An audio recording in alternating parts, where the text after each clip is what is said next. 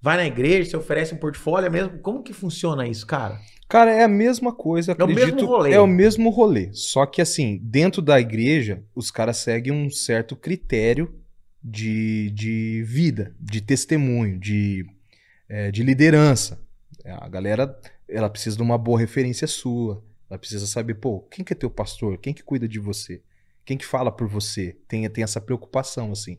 E de conduta de história mesmo, sabe? De conduta de história. Isso, igreja. Prefeituras, a mesma coisa, cara. É a mesma coisa com vocês. É, com uma banda, por exemplo, que não é gospel, né? Quando eu falo vocês. Cara, prefeitura é prefeitura. Ela vai ter um evento, ela vai te contratar, vai chamar, você Licitação, coloca o cachê, tal. tudo. É, né? CNPJ e coisa e tal. Evento bilhetado também é a mesma coisa. E também é, é legal você, você é, tocar nesse assunto, porque assim, eu não sei se vocês já entrevistaram algumas pessoas que, que é do meio cristão. Dentro do cristão rola muito essa parada assim, do tipo, cara, mas você vai cobrar pra fazer a obra? nunca. tro- Não, Né? eu já Você já ouvi. ouviu isso? Não, eu já ouvi. Você vai cobrar pra fazer a obra, você vai cobrar uma parada que você ganhou de graça. De graça, né? De graça. Eu não vejo assim, velho. Eu não encaro. Outra coisa que pode polemizar, assim. Eu não acredito que chamado é música. E essa aqui muita gente talvez vai me criticar de ouvir, tipo, ah, eu tenho um chamado pra música. Não. Você não vai encontrar nunca na Bíblia um chamado pra música, a não ser a tribo de Levi lá que fazia o louvor. Mas assim, tem gente que encara a música como um ministério pessoal. E a Bíblia não fala isso. A Bíblia fala, cara, aí de pregar o evangelho a toda criatura. E como que você prega? Você não prega só com música, você não prega com música. Você prega com a tua vida, com aquilo que eu tava falando, com a tua O teu Fala, testemunho, teu testemunho. né, cara? então, cara, eu não encaro a música como um chamado. Não. O meu chamado é anunciar a boa nova, velho. Eu tô aqui hoje exercendo o meu chamado. Tô defendendo minha fé, tô falando com vocês. O que, que é música pra você, William? É um ministério? Não, música é meu trabalho, velho. Eu trabalho com música. Quando você escreve uma música, você escreve pra adorar a Deus? Às vezes. Daí os caras vão querer matar o William, né? Às vezes. Porque eu volto naquela tecla. Eu não preciso cantar pra Deus saber que eu adoro ele, velho. Quando eu escrevo uma canção, se você ouvir minhas últimas canções, eu tô falando com o malucão mesmo. Tô falando, eu escrevo pra atingir o cara, pra falar com o cara, pra anunciar o cara. Lembrando da responsabilidade profética que eu tenho de levar a palavra que liberta, a palavra, né? Sim. Mas assim, então eu encaro a música como um trabalho. Eu tenho um trabalho e pela graça de Deus eu tenho a oportunidade de falar do que eu acredito dentro do meu trabalho. Mas você quer levar o William Graziani, você paga pelo evento William Graziani. É assim e, e beleza. Cara, é que na verdade, né, eu, entendo totalmente, porque como a gente também vive, vive, vive de música, cara, isso aqui nasceu da música e tudo mais, eu entendo totalmente. É, eu- hoje até, inclusive, eu tava uma discussão com a minha esposa sobre isso, né? Que ela, ela falou que existe uma diferença, e eu falei pra ela que eu acredito que não existe.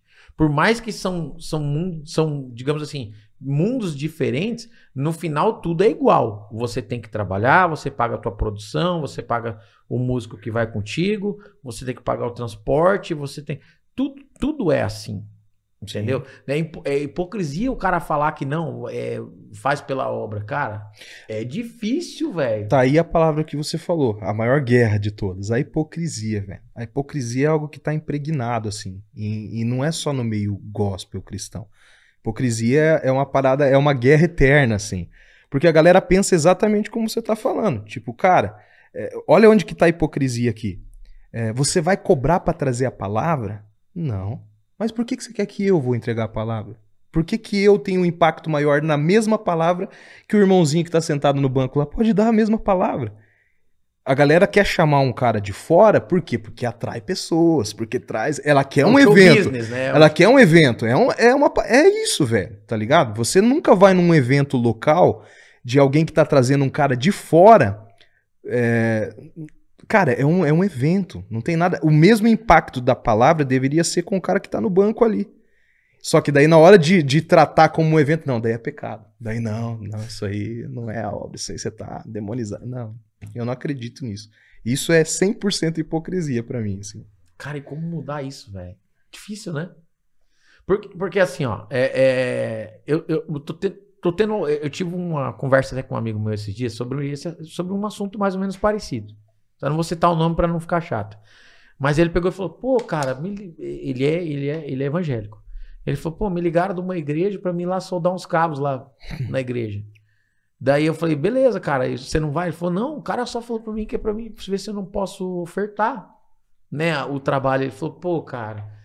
Ele falou assim, nem na minha igreja às vezes eu posso ir. Eu achei, eu achei bem complicado isso. Mas eu não consigo entender nessa parte, né, cara? Porque, tipo assim, tudo bem se o cara faz por si só. Não, mano, fica aí, eu vou deixar. Mas deixa o cara. Eu, é uma opinião minha. Deixa o cara. Deixa o cara. é, como que eu vou usar essa palavra? Deixa o cara sentir se ele. Não, mano, hoje não vou cobrar, não, cara. Valeu. O deixa o cara decidir, tá ligado? Agora, tipo, fazer o cara lá.